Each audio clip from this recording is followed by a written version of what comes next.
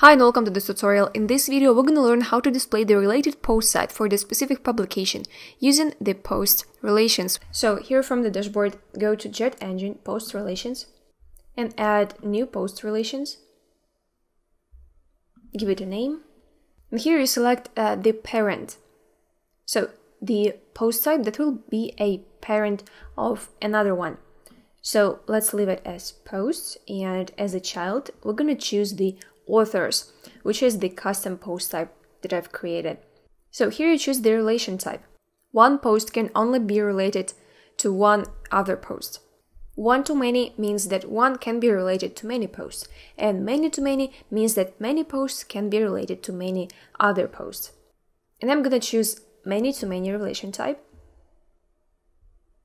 And here you have to choose whether you want to add the meta box, allowing you to set the specific related posts to the post of the parent post type and the child post type.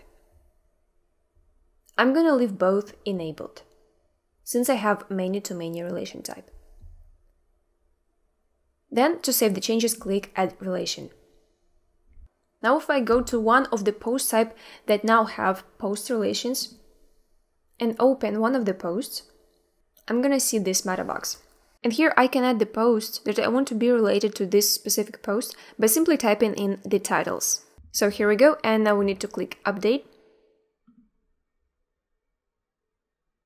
Now, when it comes to displaying related posts, there is two ways you can do it. Let's see one of them first. Let's go to Jet Engine Listings. And here we'll need to create a new listing for the posts.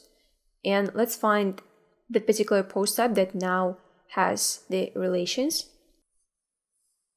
And here in the listing, what we can do is to search for the dynamic field widget and drop it on our page. And then the source, let's choose metadata. And in the meta field, we will need to choose parent post. So since we've added the related post to the post that belongs to a child post type, we have the parent post option. But if we were creating a listing for the parent post type, we would have the child post option in here. So once we choose the parent post meta field, we'll have an array appearing in here. And what we need to do is to go to filter field output, enable it, and in the callback dropdown, choose the related post list. And here we go, you've got the list of the related posts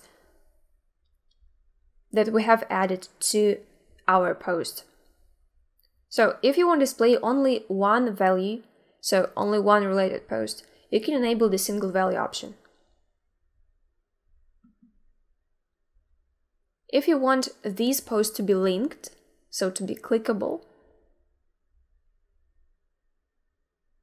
you can enable the Add Links to Related Post option. Here choose the Related List HTML tag. So it can be also displayed like that,